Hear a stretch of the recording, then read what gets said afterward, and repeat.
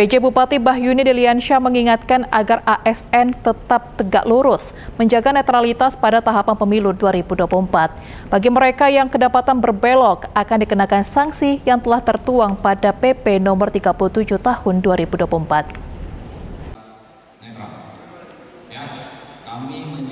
Jelang masa kampanye pemilihan umum tahun 2024, jadi mulai pada 28 November mendatang, penjabat Bupati Muaro Jambi Bahyuni Deliansyah meminta agar aparatur sipil negara di lingkungan pemerintahan Muaro Jambi untuk dapat menjaga netralitas dan memelihara prinsip dalam menjalankan roda pemerintahan.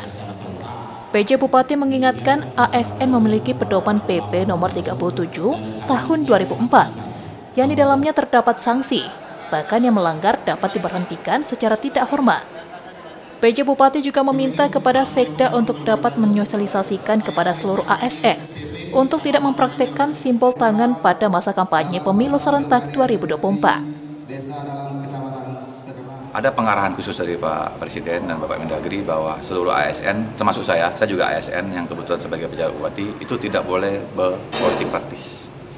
Tetap tegak lurus kepada pemerintah, tidak miring-miring, artinya tidak kita harus netral, tidak boleh memihak salah satu. Menjaga netralitas perlu disuarakan agar pelanggaran tidak terjadi dalam keberlangsungan pemilihan umum. Aparatur sipil negara dibolehkan untuk memahami, namun tidak dibenarkan untuk mengikuti politik praktis, termasuk menjadi anggota partai politik.